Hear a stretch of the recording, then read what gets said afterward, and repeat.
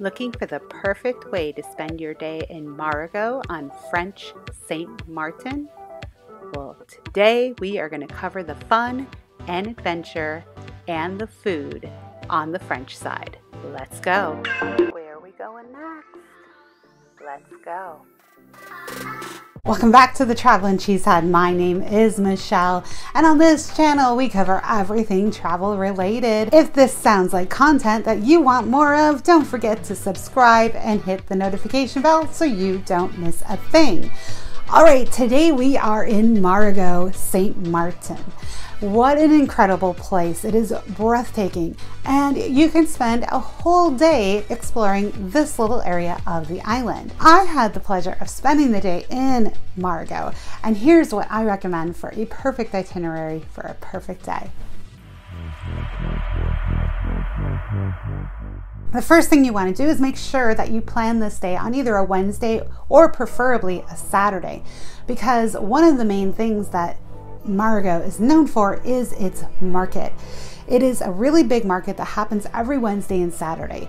Now, they have the market available during other days of the week, but it's much smaller and not as exciting and not as many vendors. So, I recommend going on a Wednesday or a Saturday. There is a wealth of things to look at and explore, and it makes for a really fun couple of hours to go browsing around and checking out all the cool things that it has to offer. But before you do that, you need some breakfast. So I have a place that I'm gonna recommend that you try out. And this place is called Sarafina's. Sarafina's is an incredible French bakery on the French side there, in right in Marigot. And I'll put the, the address and everything information and link to their website down below. They have the most incredible croissants and pastries and really good coffee as well. And they have a nice seating area where you can sit out and have your delicious breakfast so you can fuel up and charge for the day.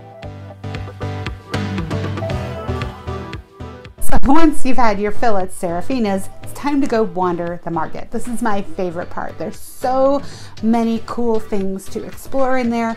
You have the normal uh, touristy, you know, t-shirt places with the you know, all the little tourist trinkets and things like that. Those are there. But then you also have the mom and pop pop-up tents that have like the incredible Caribbean sauces.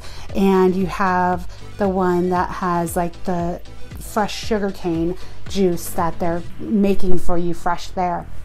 You have a variety of vendors that produce their own small batches of rum and they have those there. You have the artisans who are making art or wearable art they're there. So there's so much to see and do. This is also right in the area where the I love or the I heart SXM sign is. So this is also where you'd want to, uh, if you want to get that photo op in, this is where you'd want to do that as well. So now that you've got some shopping and you might need to run back to your car and go put away all those bags that you just picked up because the next thing you're gonna do is you're gonna get a little exercise in. That's right, we're gonna burn some calories. You're gonna climb up Fort Louis. Now this sounds like, well, I'm on vacation. Why do I wanna climb up a hill? Because the views are spectacular. So at the very end of the town, you're gonna head up this road and then it'll, it'll there's signs that will direct you to Fort Louis. When you get up there, it's a bunch of steps that will take you to the top. It is kind of steep. It is kind of hot. But like I said, when you get up there, the view is so worth it. The other thing to keep in mind is there's lots of iguanas in that area, so just be aware they they run away from you, but just know there's a ton of them. So just I wasn't prepared and it freaked me out a little bit. So just be prepared that there's a ton of them there. Once you get to the top, like I said, the views are spectacular and you can even climb up to the very top of the fort and act like you've claimed it because the flag is up there. So now that you have climbed the mountain and claimed it as your own with, well, the French flag, you're gonna make your back, way back down and now it's time to cool off. Marigot does have a beachfront, but it's not the best. I recommend going a little bit further into the Friars Bay area. Friars Bay was one of my favorite beaches and areas to hang out. It is a little bit underdeveloped. There is some services there, but it's not a big booming tourist area. So it's kind of nice and low key and a little quieter. Uh, we went there a couple times and you know, had wonderful areas to just kind of sit out and relax.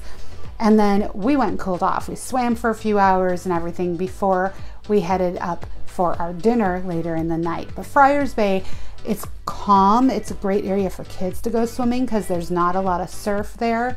Um, the beach is beautiful and sandy. There's even some snorkeling that you can do up near the rocks.